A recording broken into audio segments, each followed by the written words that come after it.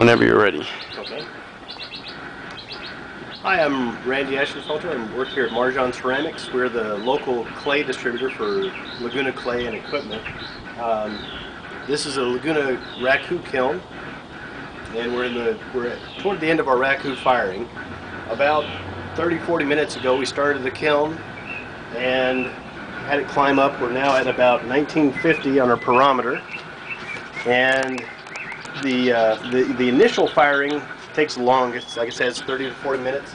After that, successive firings take about 20 minutes to a half hour. Um, as you can see, I've got my safety equipment on. I've got a, a fireman's jacket, uh, Kevlar gloves, and a face shield. What I'm going to do now is uh, back off the gas. I'm going to open the kiln up and take the pot out and put it in this trash can filled with combustible material.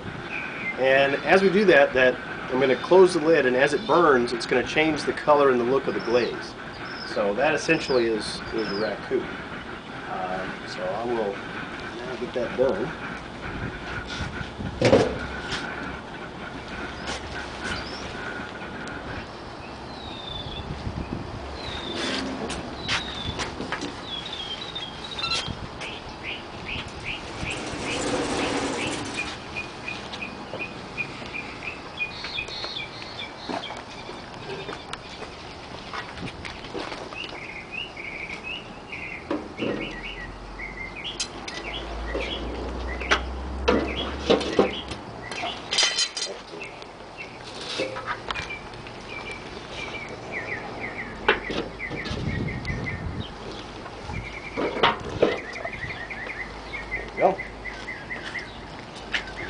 Reload it.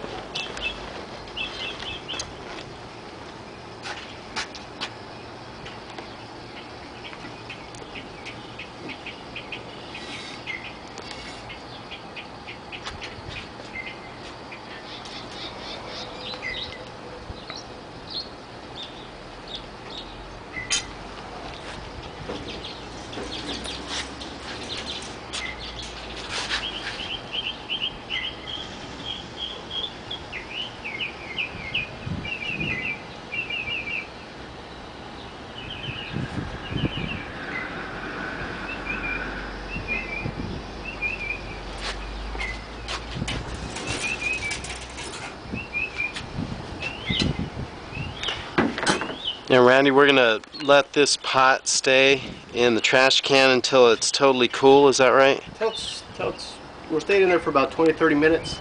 It will, it'll still be hot when we take it out, but relatively cool. I mean, it'll be, you know, 200 degrees or so when we pull it out.